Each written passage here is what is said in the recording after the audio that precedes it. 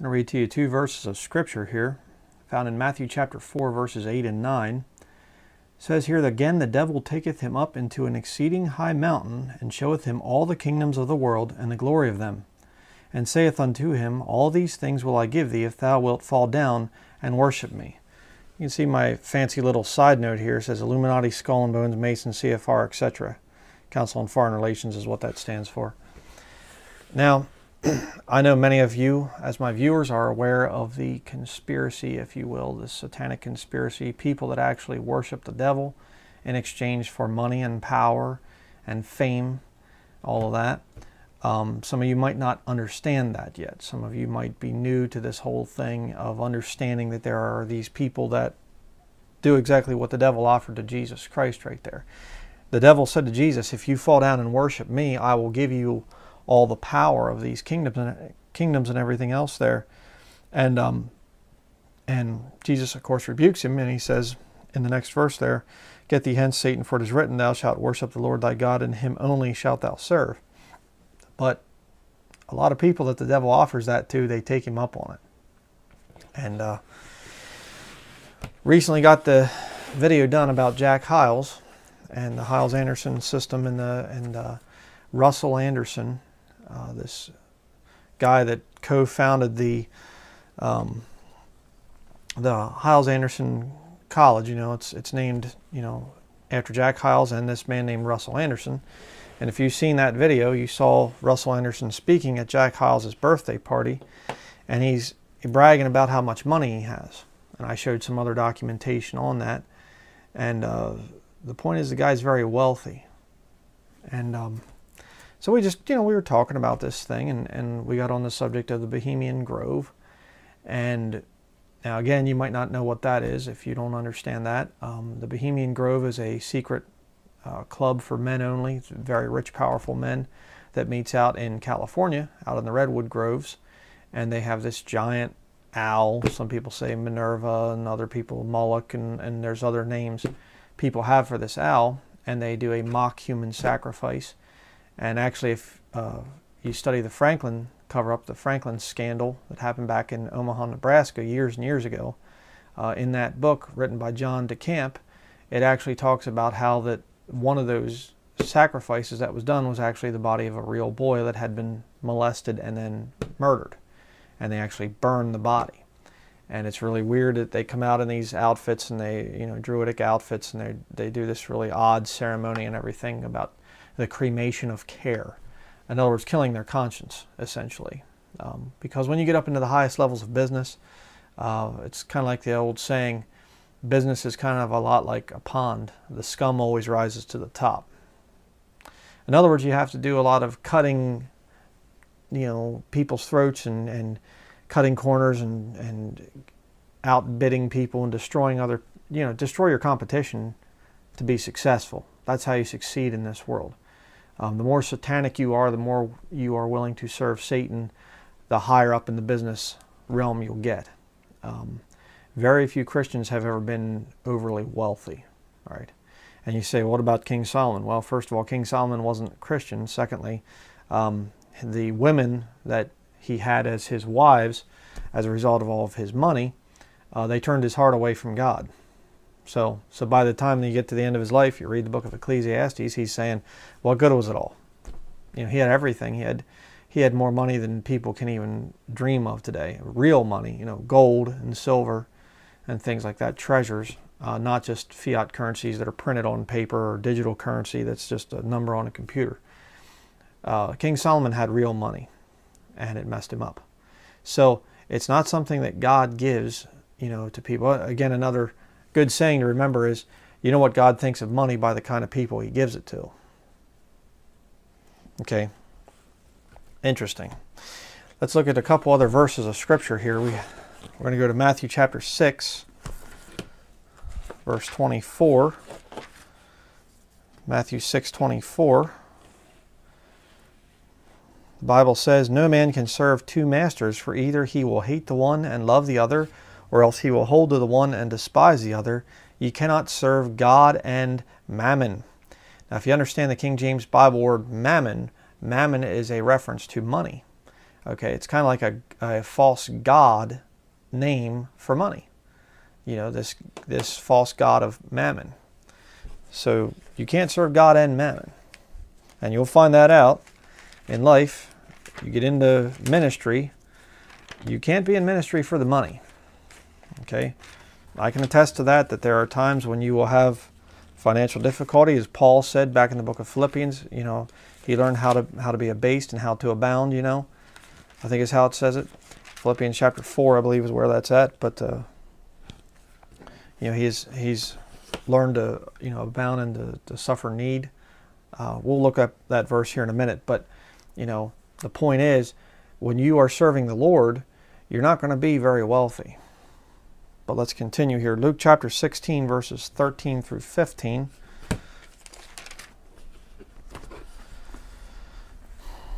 Down here it says, No servant can serve two masters, for either he will hate the one and love the other, or else he will hold to the one and despise the other. Ye cannot serve God and mammon. So there Jesus said it again.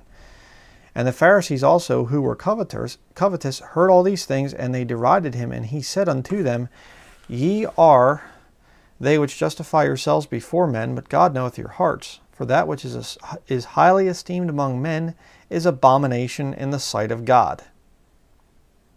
Now, if you are a multimillionaire, are you highly esteemed among men? Oh, yeah. Oh, yeah. Oh, whoa, we have a millionaire in the room here. Wow. What about a multimillionaire? Oh, that's even better. Well, if it's highly esteemed among men, the Bible says it's an abomination in the sight of God.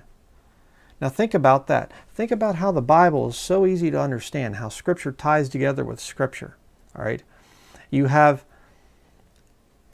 Men serving Satan, bowing the knee to Satan in exchange for money and power. And the Bible says when you have lots of money and power, you're an abomination in the sight of God. Pretty easy to work that thing out in your mind, okay? You serve Satan to get money and power, and when you get to that position, you're an abomination in the sight of God. Easy to figure out. Unless your name's Russell Anderson. Now let's go to Philippians chapter 4. Show you the verses I was talking about here. This is the mark of a Christian that's serving the Lord.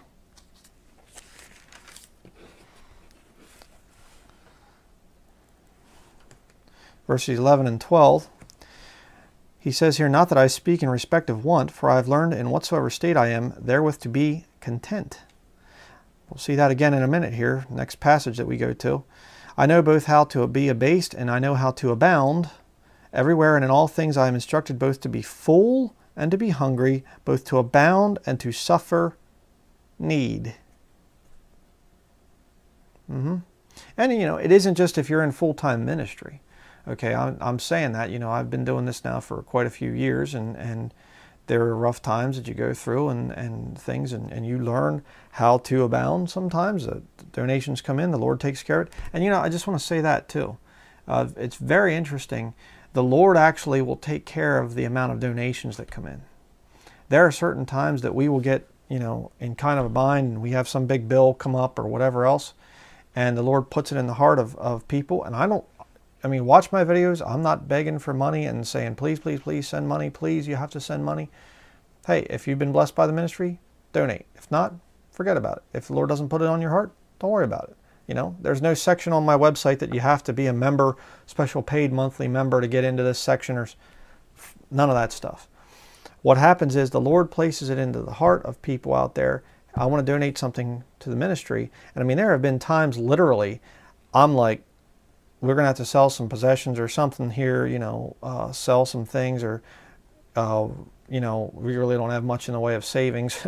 but, you know, we'll have to just totally deplete all of our savings to pay such and such bill. You know, uh, it happened a lot when we were moving, you know, having to pay these big bills of moving from Pennsylvania to Maine. And, you know, just these bills come up and it's just like all of a sudden just a donation shows up right at that exact time takes care of the bill. I mean, I, there has been so many times I lost count now where I have to go do some shopping, some food shopping or whatever, get some things uh, for the ministry, some, you know, ink for the printer and, and whatever else, uh, accessories for the computer. And I'll be like, well, you know, yeah, we have the money for it, but it's going to make things a little bit difficult. And I will go, leave the ministry headquarters, go to the post office, and there will be somebody sent uh, some cash or some a check or something like that, and it's the exact amount that we need. It's amazing. And that has happened time and time and time again. Why? The Lord is the one that takes care of what I make in a year when you're in ministry. Okay? And like I was saying earlier, before I went off on a little rabbit trail there, even if you just have a, a job and whatever else, you know, we're going to see this is in this little study here on, on Russell Anderson. You know, it's this, oh, I, I just worked construction and I was really successful and God really blessed me and, and I'm a multimillionaire from doing drywall and trucking and owning apartments and stuff like this. And yet, I know a lot of guys that work in construction. I never worked in construction. I was a cabinet maker and I was a logger for a little while. You know, and you work hard and you work hard and you work hard and you say, you know, could you eventually become a millionaire from this?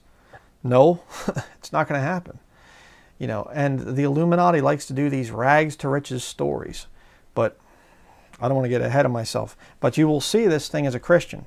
You learn both how to abound and how to suffer need sometimes. All right. Bible talks back in the book of Proverbs about giving me neither riches nor poverty. You know, just providing for you. I mean, again, think about it, folks. You know, the rapture is going to happen. Everything that you have is going to be left to somebody else. So why amass some huge amount of fortune? Somebody else is going to get it. You aren't going to have it saved for you so that you can have it when you come back, you know, after the time of Jacob's trouble. Go next to 1 Timothy chapter 6. 1 Timothy chapter 6, verse 3.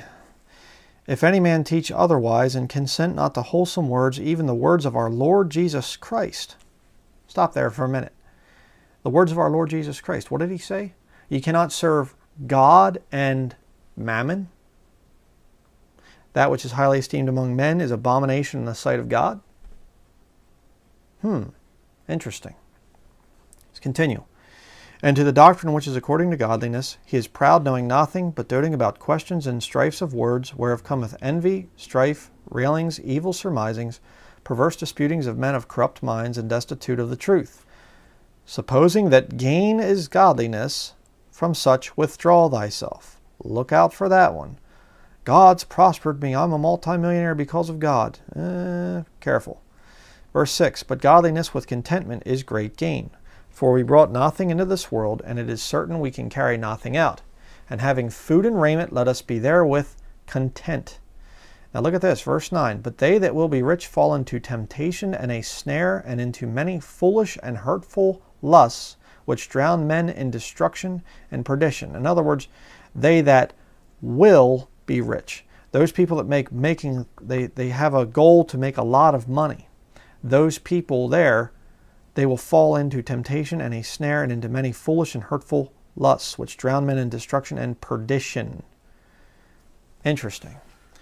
Verse 10, the infamous verse 10 here. For the love of money is the root of all evil, which while some coveted after, they have erred from the faith and pierced themselves through with many sorrows.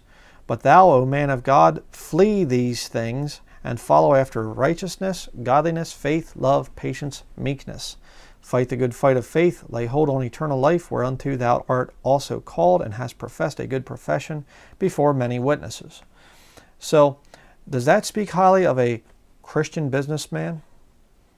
No, I mean you can be in business as a Christian, you know, man, but uh, when you're starting to get up into the multi millions of dollars, it's kind of a problem. The Bible's not real uh, positive on that subject there. Let me show you a picture here. This is um, the Independent Baptist Conference. This was back in 2012, but I want to illustrate something here. Here you can see the picture of it. Let me uh, zoom in here to a little bit more detail. In Independent Baptist Conference, look at the blue lettering there. Here we grow again. Supposing that gain is godliness. Hmm. And you know, why do these guys want to grow? So they can build bigger Bible buildings, get in more people, get more money. Don't kid me, man. You know, the, oh, that's not what it's about, brother Bryan. You know, it's not. It's not about that. You know, and what do we have down here? Um, here in the bottom right corner, what has been done can be done. John R. Rice, Jack Hyles, and Russell Anderson down there at the bottom. So you see Russell Anderson down there. And Russell Anderson is one of the speakers. Okay, it says here, come here, a multimillionaire whom God has used to give $39 million to the work of God around the world. In the early 60s, he approached Dr. Jack Hyles about quitting the business world and getting going into the ministry full time. At that time, he was worth $300,000. Dr. Hyles advised him to stay in business. He told Dr. Anderson, God needs a man that can prove to the world that you can stay in business and live a fruitful Christian life. Okay, I'll get right back to that in a minute here. He did and has reproduced himself, and now we need another. Bring your layman and see if you may not have your own Russell Anderson. Okay, couple points need to be made here. Number one, Hyles, Wiley, there, Jerk Wiles, Jack Hyles, he says, quote, God needs a man that can prove to the world that you can stay in business and live a fruitful Christian life. Jesus Christ said you cannot serve God and mammon. Well, who's right? Well, Jack Hyles, I'm sure. You know, Jesus didn't, he just didn't understand things the way that Jack Hyles did. You know, if any man consent not to wholesome words, even the words of our Lord Jesus Christ, he is proud, knowing nothing, like Jack Hyles. Oh, yeah. And you know, why do you want to go to hear the guy? Come hear a multimillionaire. Oh, wow. Let's go hear a multimillionaire. This is of the Lord? Sure it is. But uh, here's where it gets kind of interesting. Because we were talking about this whole thing, my wife and I, and um, and I said, you know what? I remember uh, Fritz Springmeier's book. Let me show it here on camera. Uh, Fritz Springmeier's book. Here it is, Bloodlines of the Illuminati by Fritz Springmeier. And I remembered that he actually had in the back a list of the members of the Bohemian Grove. And I thought, well, what is the Bohemian Grove? It's these rich men that dedicate themselves to Satan. They go out there to do the cremation of care, and there's all kinds of fornication and pedophilia and all kinds of sodomy and all, this other stuff going on. And these guys go out there, they, they go through all these odd ceremonies and stuff like this, and are basically selling their souls to Satan in exchange for money and power. And of course, you know, the Masonic Lodge and the Illuminati and the, all this stuff, it's a, it's a, the old boys network where these guys, they network with each other and, hey, I'll give you a good deal. And it, see, it's the way that you make lots of money. And if you can make enough money to give away $39 million, like Russell Anderson claims, right there in this Bathlick, uh, you know, seminar thing that he's going to be speaking at, you know, if you can make enough money to give that, you know, 39 million away, you got some connections. Don't tell me he worked that, you know, I worked hard to make this kind of money. Bull. Nonsense. Okay. Absolute total nonsense. Let me show you here. So we looked up the thing of the membership list of the Bohemian Grove. Let me show you here, page 496. Look up here in the top left-hand corner. R. Anderson. Hmm. You say, what's the first name? I don't know. I have no idea. We couldn't find that information. You say, well, that doesn't prove that it's Russell Anderson, Bryan. It doesn't prove it. Yeah, but it doesn't prove that it's not Russell Anderson. It could be Russell Anderson. I don't know. And again, this is I'm just showing you. Here, you can make up your own mind. But the fact that these rich, powerful elites go out there to California to do all this stuff and these weird rituals and things, you know, I'll just say it wouldn't shock me if Russell Anderson was going to the same thing. Yeah, I mean, you have to be connected to this system, the Illuminati, the Masons. You have to be connected to that thing. And I'm going to show you proof a little bit later that he definitely was connected to the Masons. I can't document, I can't prove that that is him there that was at the Bohemian Grove. but I can show you that he was part of the Masons. We're going to show you that later on. And I think he's got some other connections too, by the way. But, uh, you know, you just, you got to keep this thing in mind. The words of Jesus Christ say that you can't serve God and mammon.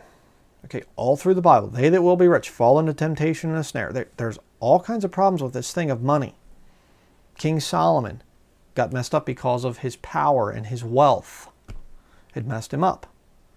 Okay, it's just so yet, oh, I served God and He made me a multimillionaire. And you can come, you know, hear the guy speak, you know, bring your layman and see if you may not have your own Russell Anderson. Yeah, okay. But uh, let me show you a couple other things here, some in interesting things. My wife did a little bit of research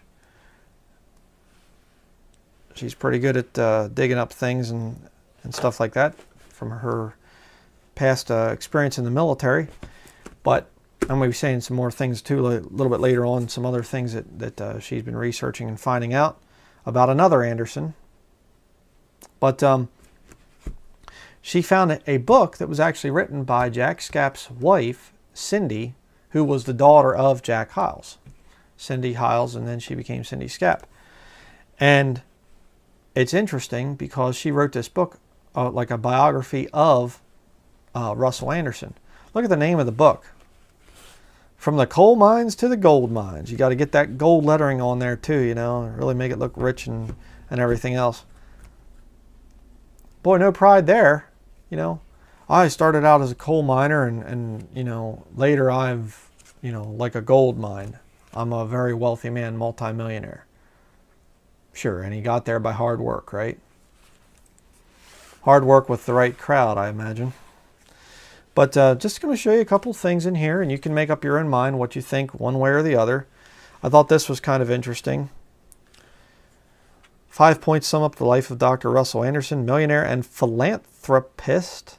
Ooh, okay, that's something that's very, uh, the Illuminati does that a lot. They'll say, I'm a philanthropist, you know. I mean, you'll get a lot of these big guys in the Illuminati, and they believe in the thing of dual duality also, by the way.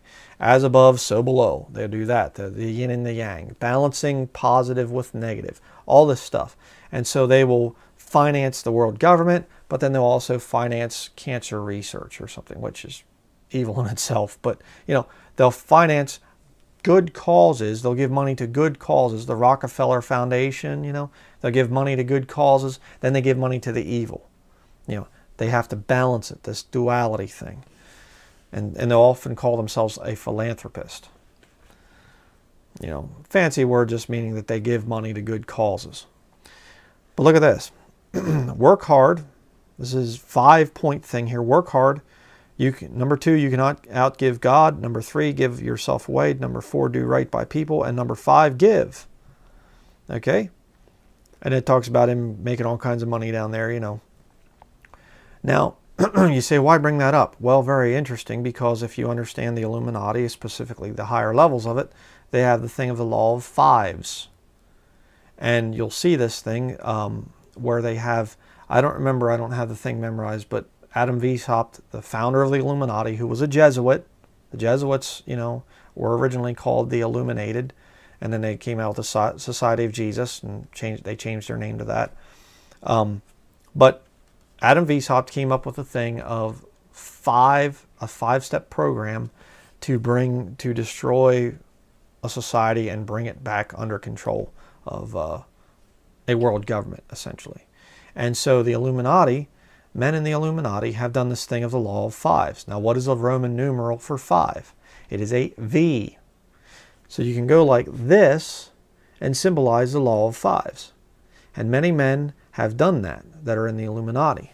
They'll specifically go like this, you know, to hold both hands up. You say, oh no, Bryan, that means peace. It means peace. Well, if you're uninitiated, yeah, it means peace. It can mean all kinds of different things. And it's also a satanic salute because, again, you have the two horns of Satan above the Trinity Father, Son, Holy Ghost. See? So if you get a guy going like this, like Jack Hyles did many, many times? Hmm. Interesting, too, because you have Rick Warren talking about his five step peace plan. And if you study the number five in the Bible, it's the number of death. Hmm. And the fifth month of the year, May, is when the Illuminati was founded. It's all coincidence. Don't dare try to tie this stuff together, okay? That's conspiracy theory. You know, and you say, well, Bryan, maybe he didn't mean that. Maybe he didn't. Maybe he didn't. Maybe he's not a member of the Bohemian Grove. Maybe he didn't mean anything by the five thing here. I'm just presenting you some facts and you can make up your own mind. I want to show you another thing that's interesting here. Um, go to page 90 in this book.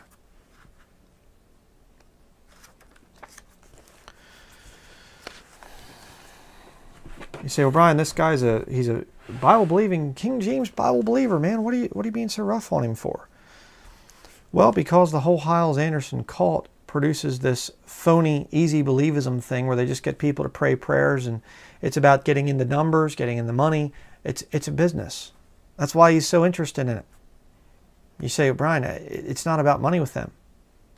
Really? Let's look here, page 90. See it down there, page 90 little triangle too there. It's kind of telling. Russell Anderson began paying 10 students from Kevin Wine's college to go soul winning after school each day. Paid soul winners, huh? The money kept them from having to work a second job. Soul winning became their second job. Now, around 200 college students in foreign countries are paid by Dr. Anderson to make soul winning their second job. The students keep finding new territory and seeing more and more souls saved. Hmm. The students bring back their reports to Dr. Wine and he gives them to Dr. Anderson. Dr. Anderson increased his soul winning impact by beginning to send money to missionary Rick Martin, another Hyles Anderson College graduate in the Philippines. Dr. Anderson hires soul winners in Brother Martin's ministry, as well as sending money to hire soul winners in the countries of Haiti and Africa.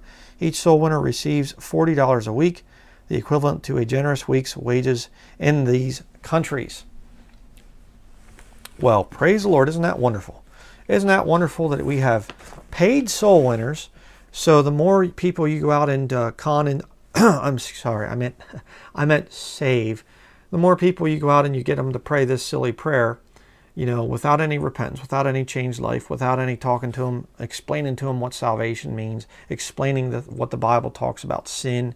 Are you a sinner? Have you sinned against God? No, no, no, don't do that. Just do you want to go to heaven when you die? Well, I don't know. Oh, you have to go to heaven when you die. If you want to go to heaven, just pray this prayer. Repeat after me. You get people to pray the prayer. You go one, two, three, four, five, six, 60 people saved today. That's what these guys are doing. You say, well, Bryan, you can't prove that. Oh, sure I can. Sure I can. Because you see, I've seen that mentality, and they talk about we've led millions of people to the Lord, millions of people to the Lord. Okay, well, there's a very simple test that our Lord and Savior Jesus Christ gave us, and that is by their fruits ye shall know them. Okay? We've had millions of people saved here from the Hyles Anderson cult. Where's the fruit? Boy, we should see revival, shouldn't we? I mean, the Bible talks about 3,000 people getting saved on the day of Pentecost, and they turned the world upside down with 3,000 people. Now, a lot of these wingnuts from Hyles Anderson like Dr. Bob Gray, he said that he's led personally over 1.1 million or something like that people to the Lord. Okay, where's the fruit? We'll just go with his numbers 1 million plus people saved through his preaching. All right, 1 million people down there in Texas, I think it is, they're saved. Where's the fruit? 1 million, 1 million Bible believing Christians out there. Hey man, that ought to produce some fruit, shouldn't it? It's not there. You know why? It's not legitimate. It's not real. They're getting people to pray prayers. And as you saw, if, if you've seen my study on Jack Hyles, you know that that's the case. One, two, three, pray after me, you know. Pray the prayer, and then you just count the numbers and stuff like this. See? Hey, you're getting paid to do it. You know? The more numbers you can get in, the more people you can pray to get to pray the little silly prayer Hey, man, you know, hey, let's get these people in. Let's get the numbers in here, man. I'll make more money.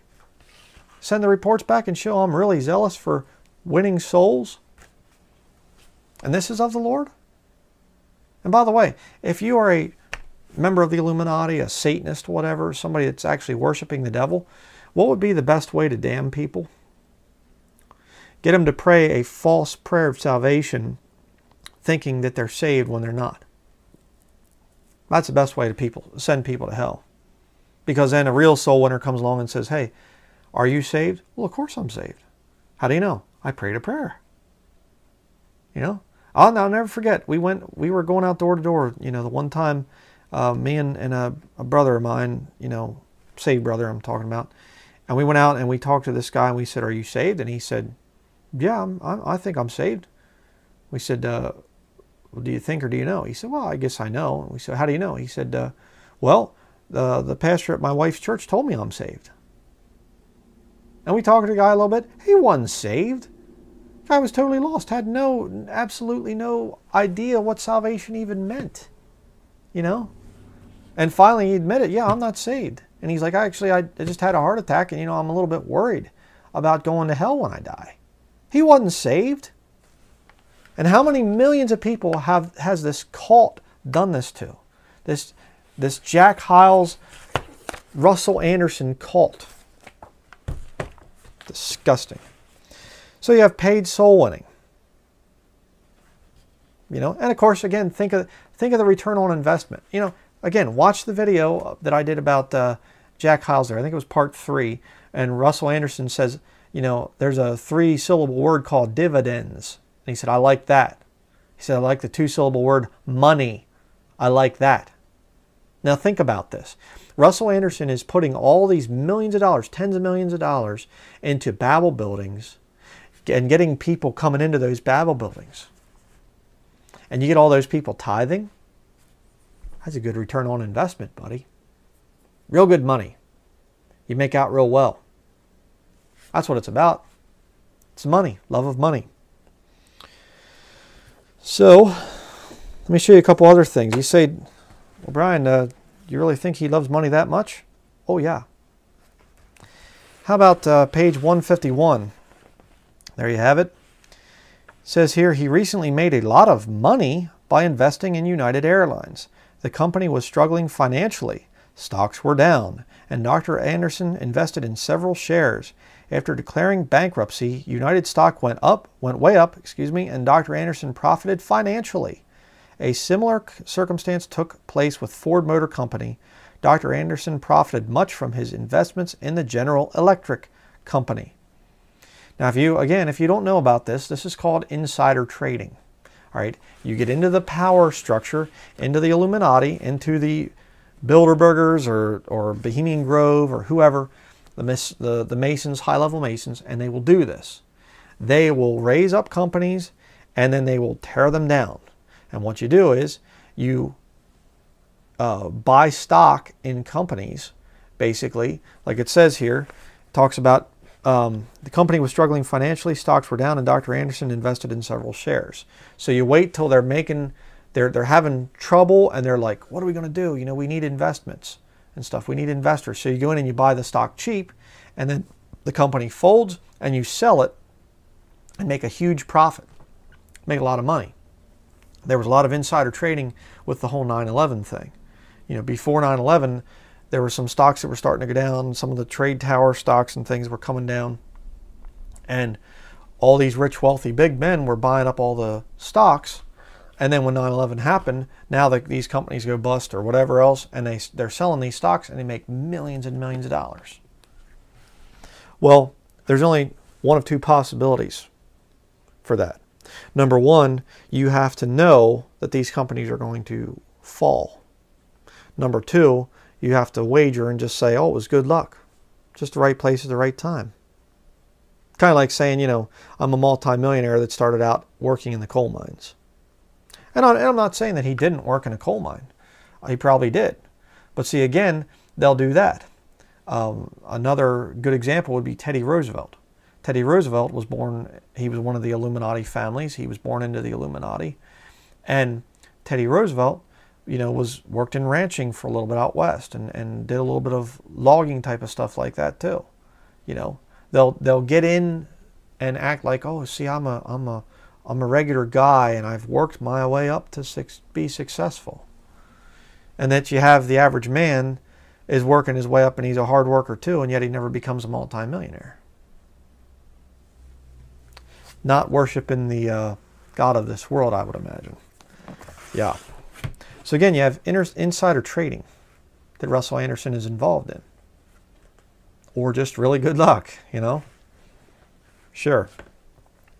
Show you another thing here. Uh,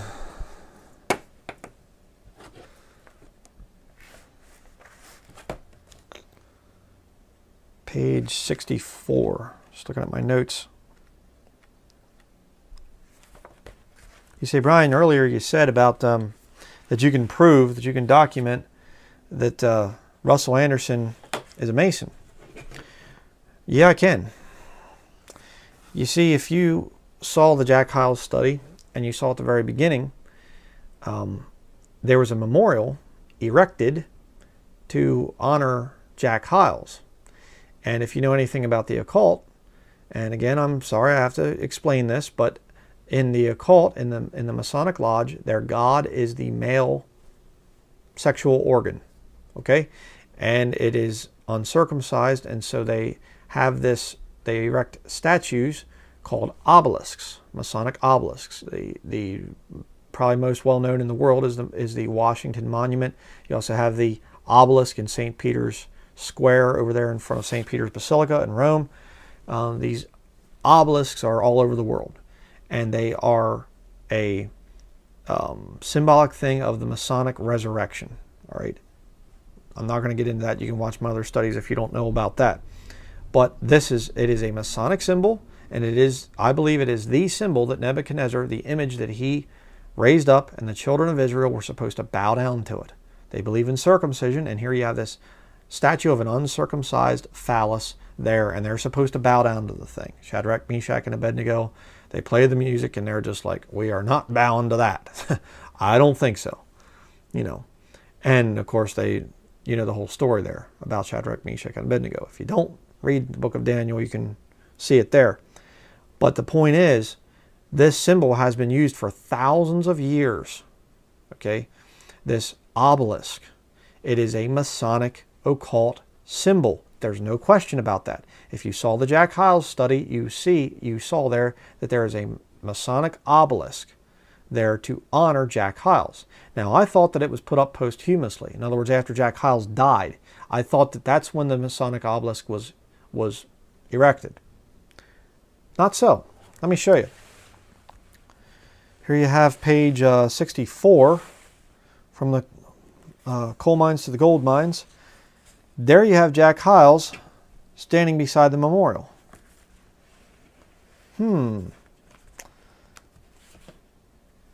So picture, two pictures of my dad, this is Cindy Schaap writing this, with the monument erected in his honor in Italy, Texas. Dr. Anderson is seated to his immediate right.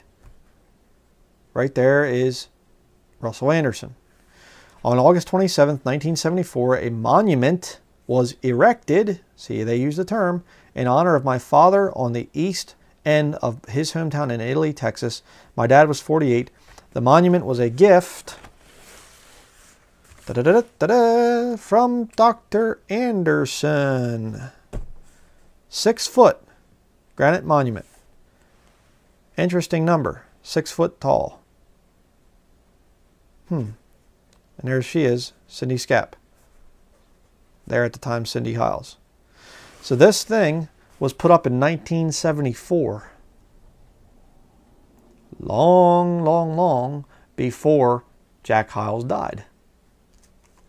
Now, of course, we can make a couple little statements there. Why would a Christian preacher want anything to do with a monument putting, being put up in his honor? I mean, where is this at in the book of Acts? Where do you see any of the apostles, any of the early Christians saying, you know, Paul, we'd like to present you with this wonderful monument here because you're such a wonderful soul winner. How out of character for a Christian. It's not something that a Christian would want. So have that as a problem. Number two, shouldn't the Holy Spirit have been there to kind of convict Jack Hyles and say, what's it, what's this Masonic obelisk, you know, to, to honor me? No, man, get that thing out of here. And, you know, I'm sure that Russell Anderson was just innocent and just kind of went into a, a company that made, you know, granite monuments and was just like, oh, what do you have? And they said, how about this one over here? It's a nice pointing thing. And, and he's like, that's pretty. Let's take that one. You really believe that? Well, maybe you do. I don't know. I believe it, you know, it, it obviously points to the fact that he's a Mason. Because the Masons are the ones that do this. I mean, you know, you can watch my, again there, my uh, video on uh, paganism and things in Lancaster County.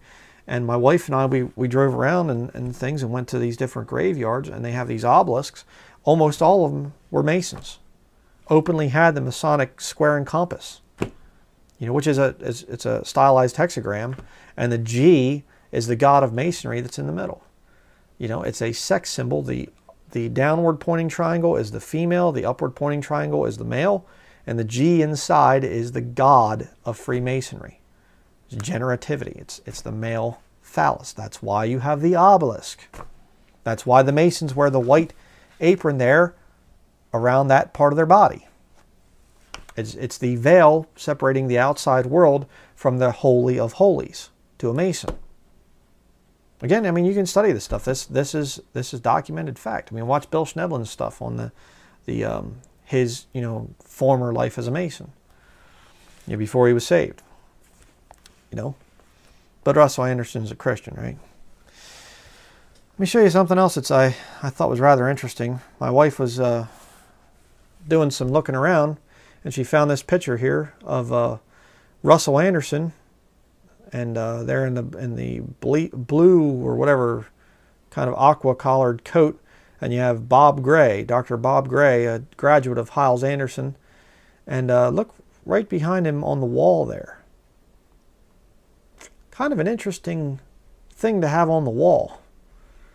You know, and you say, "Oh, Brian, it's just decoration. It's just you know, it's just a wall ornament or something." Well, you could make that argument, but you could also make the argument that it looks like a Catholic monstrance. And that these guys, oftentimes, they'll do this. They'll put circles around the head or behind the head or kind of up like this to prove godhood. I'm sure that he wouldn't do a thing like that, though. You know. And Russell Anderson, there was another thing we read that Russell Anderson gave Bob Gray a million dollars because Bob Gray was such a great soul winner. Hmm, interesting. And of course, if you understand the Masonic, the uh, Masonic Lodge, the Illuminati, all this, stuff, it all goes back to Roman Catholicism. Roman Catholicism, you know, controls all these different organizations. So, very interesting. Let me show you another piece of evidence here, which I find to be very interesting. Again, you know, this one, again, I, I'm just going to show it to you. You can make up your own mind. Page uh, 412 here in Bloodlines of the Illuminati. You can see down here the House of Bruce was accompanied by other bloodlines such as Boswell, uh, Brodie, Cameron, Campbell, Fraser, Graham, hmm, and Hamilton. Okay, remember the name Hamilton. And by the way, let me just explain something there if you're going, what does this mean? These Illuminati guys will oftentimes, it's kind of like if you're born into a Christian family, you know, and your parents teach you about the Bible and they, they you know, teach you the old hymns and whatever else.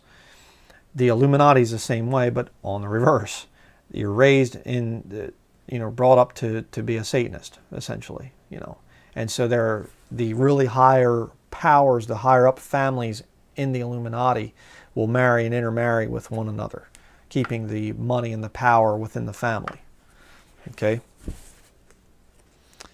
Let's look at here at page 14 again russell anderson's book here the Coal mines to the gold mines. Lady Mary Hamilton, daughter of the Lord Mayor of Dublin, Ireland, was engaged to a man who was chosen by her father. She did not want to marry, blah, blah, blah, blah, blah. You know, married an Anderson. And this is the ancestor of Russell Anderson. So he comes from the Hamilton family. The Hamilton family was tied in with the Illuminati. Now you say, was he a direct descendant of you know these Hamiltons and things? I don't know. As far as you know, maybe it was a different different Hamilton. Maybe it wasn't one that was involved with the Illuminati, but uh, maybe it was. I don't know. Let me show you something else that's rather uh, interesting. You say, well, uh, Brian, I thought when I saw this video, I thought it was about Steven Anderson. You know, well, it wasn't totally about Steven Anderson, but um, let me show you something else interesting here in the Bloodlines of the Illuminati book. Here you have the Kennedy bloodline. And down here, some of the different families that uh, they abound with marriages to names such as, and it goes down through, and you have Humphreys. Over here we have the Humphrey Illuminati families. Hmm, tied in with the Rockefellers. What about the Humphreys? Let me show you a little video clip here when uh, Steven Anderson went out to actually document who some of his ancestors were. Check this out. All right, so as I said, this is the tombstone of George Humphreys, who is my great, great, great grandfather, born in 1842, died in 1922. What I'm going to do now is take a rubbing of the tombstone. So I got my crayon and a piece of paper. Put that on there like that.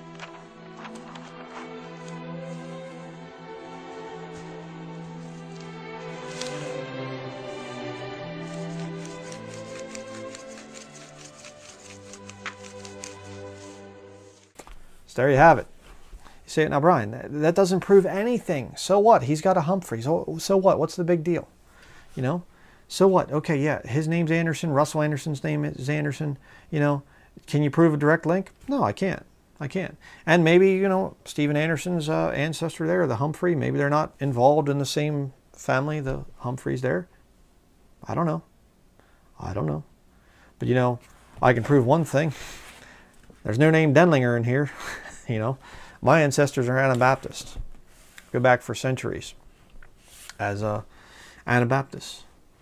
So, you know, my family is not at all tied to the Illuminati.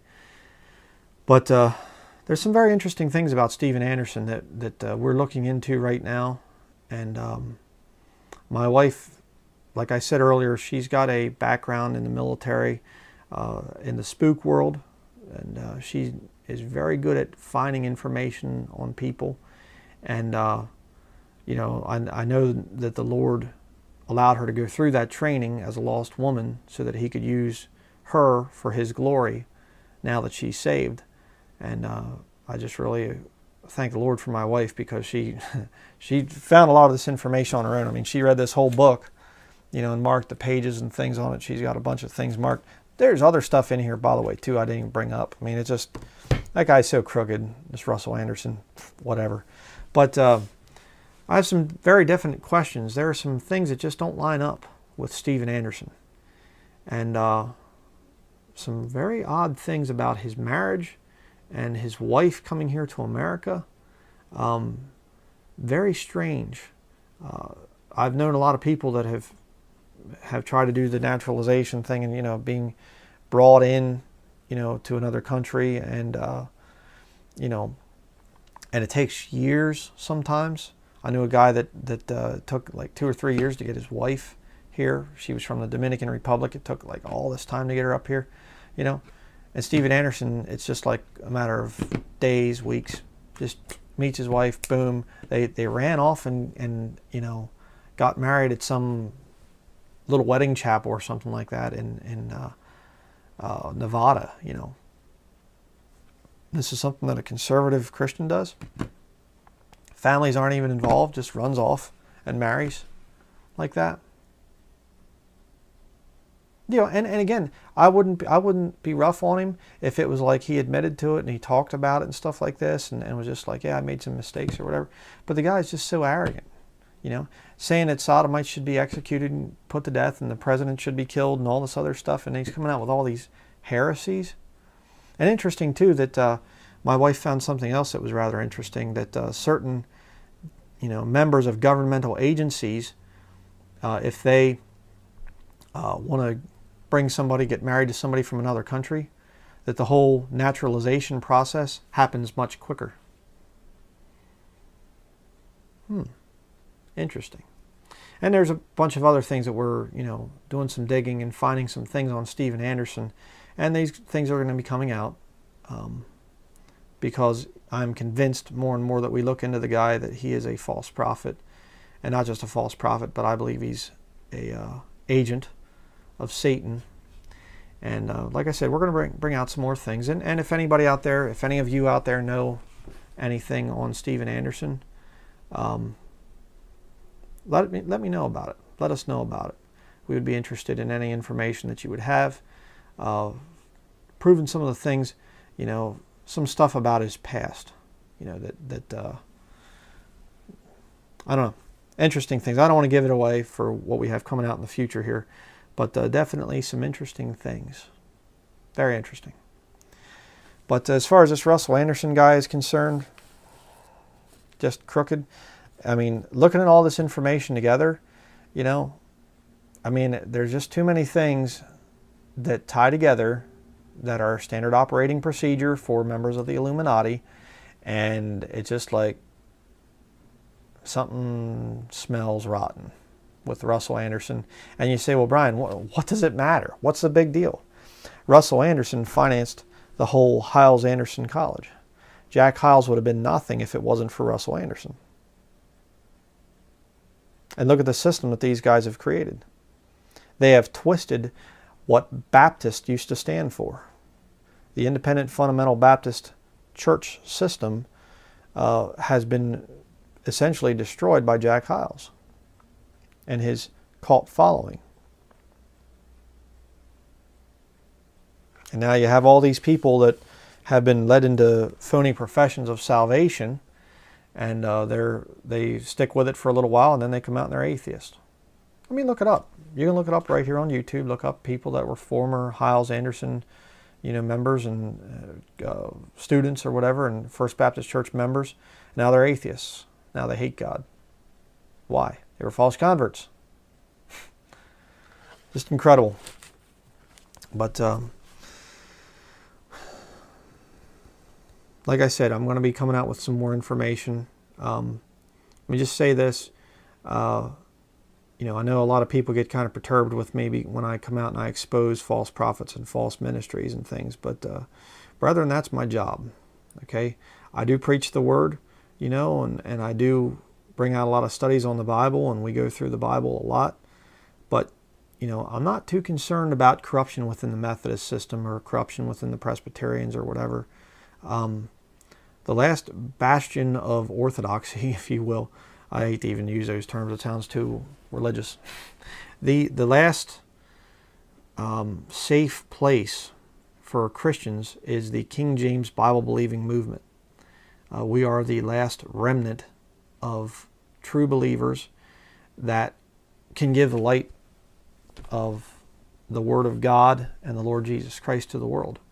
I'm not saying that there are people in other you know movements and things and people that are using new versions there are people that ignorantly use the new versions. I'm aware of that. They haven't heard the Bible version issue yet. They're struggling. They're on their they're on the journey to the truth. They're, the Lord is leading them out of certain things.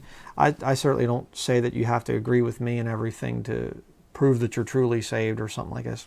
That gets put on me. It's not true. I don't believe that. I believe that there are a lot of people that are on the journey that are coming out of certain systems and they're and they're still doing a lot of things wrong. But the, the safe haven for Bible believing Christians is, you know, those that believe the King James Bible and stick with it.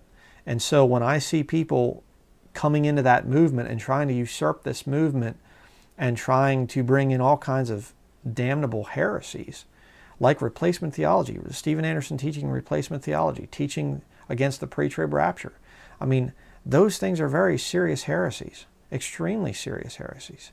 You know, and these guys are bringing this stuff in to the body of Christ, and I'm going, whoa, I need to do something about this. So, you know, it's not going to overtake the ministry. It's not going to be like, I'm not going to do anything else. We're going to continue doing expository studies. We're going to continue doing subject studies, certainly. But I need to rebuke this stuff. I need to expose this stuff. And I thank the Lord when I see other brethren out there uh, bringing out some of these same things and bringing out uh, studies against Steven Anderson. Um, Steven Anderson is very dangerous and a lot more dangerous than people realize. And I do really do believe that he is tied in with this whole Illuminati structure. Uh, to what level? Still finding some of that stuff out. But um, going to be bringing out more stuff stuff on him in the future. But I hope that by now you've seen that the Hyles-Anderson whole system is corrupt. I mean, you know, from the coal mines to the gold mines. I mean, come on. You know.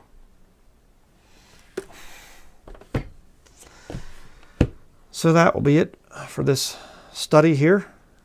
Uh, just please continue to keep us in your prayers. And, you know, there again, I'll say this and that is uh, I've done a lot of ex- exposés on different things and and um, you know come out against the Jesuits, come out against the Catholics, and I get people you know writing comments, nasty comments, and threatening to shut my channel down, or I'm going to report you and all this other stuff. But I've been attacked really, really hard twice now. Both times were times when I came out against Steven Anderson. And I mean, the first time I came out against Steven Anderson was back, um, well, I did my post trib rapture thieves study years and years ago. And uh, that was just an audio sermon that I did for Sermon Audio. But then I came out with, you know, exposing each one of his post trib moments. And when that happened, while I was right in the middle of that project, my computer got hit with a cyber attack and it just wiped out my computer. I had to to restart everything. I had to go back in and crash the system and rebuild it from scratch. And so that happened. Now, this past time that I came out and showed that Steven Anderson is teaching replacement theology, uh, his little goons just came on and just went wild. And I'm sure they're going to go wild with this video and the ones I'm going to be bringing out soon on Steven Anderson. And uh, they just went crazy, and I started to have this uh, these people impersonate me and I took action against it. I mean, I went through the whole process of, you know, I scanned the picture of my driver's license and everything, you know, blacked out the vital information on it, but I sent it to Google and I said, they're impersonating me. I want to take legal action. I got an email back from Google saying, oh, this person has um, deleted their account. We can't do anything now. Really? You know,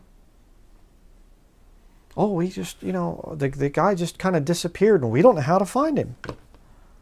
Sure, you don't. Yeah, right. You know. So, what am I expecting? Oh, I'm expecting some more attacks. You know, maybe this will get my channel shut down. I don't know. I have no idea. But I trust the Lord. I know that the Lord wants me to do this. I know the Lord wants me to bring this information out. Because you can teach people the Bible and, and show people scripture and everything else and lead them in the right way. And all it takes is some false prophet that comes along that has a lying spirit. And Steven Anderson has a lying spirit. Martin Richling has a lying spirit. I've seen these guys. They can take scripture. I mean, some of you out there, my, my, brothers in Christ, we have our disagreements. Some of you are for Dr. Ruckman. Some of you are against Dr. Ruckman. Some of you, we have issues on the thing of repentance and, and, and what's the timing of repentance, what's what you know the thing of salvation, and and blah blah. Some people disagree with some of my stands, you know, on whatever. You know, we have our issues back and forth, but I still consider you saved, and a lot of you still consider me saved. Whatever, like that's fine. We can have our disagreements. But when you have somebody like Steven Anderson and he takes scripture and he just twists it and tweaks it and, and changes it and then claims to be a King James Bible believer, which I'm going to be showing coming up here in the future, he changes the text and twists it. Unreal. Unreal. It's a lying spirit. And you have people that are going along in the truth and they'll listen to some guy with a lying spirit, and those devil spirits are very persuasive, extremely persuasive. They'll, they'll be very charismatic speaking through somebody, and they will start to confuse you. I mean, I've been watching hours and hours and hours of Steven Anderson's videos for my studies, which I'm going to be coming out with.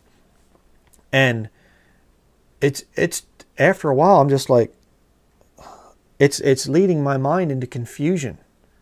And I'm just going he makes so many lies and so many false points. I just start to lose track of it after a while. You know? And you watch Steven Anderson for, for a while as a Bible believer and you start getting tired and just like this doesn't even make any sense anymore. And that's the whole point. It's not the Holy Spirit leading him. It's a devil spirit, a lying spirit. So, again, I don't want to give it away what I'm going to be coming out with, but it, watching the next week or two, Lord willing, I'm going to be coming out with uh, a couple videos that are going to have some interesting information in them. So, enough yapping. Um, thank you for watching, and uh, keep please keep us in your prayers. Uh, the battle's going to heat up here quite a bit. I'm going to be bringing out some pretty crazy stuff. So that's going to be it. Thank you for watching, and we will see you in the next video.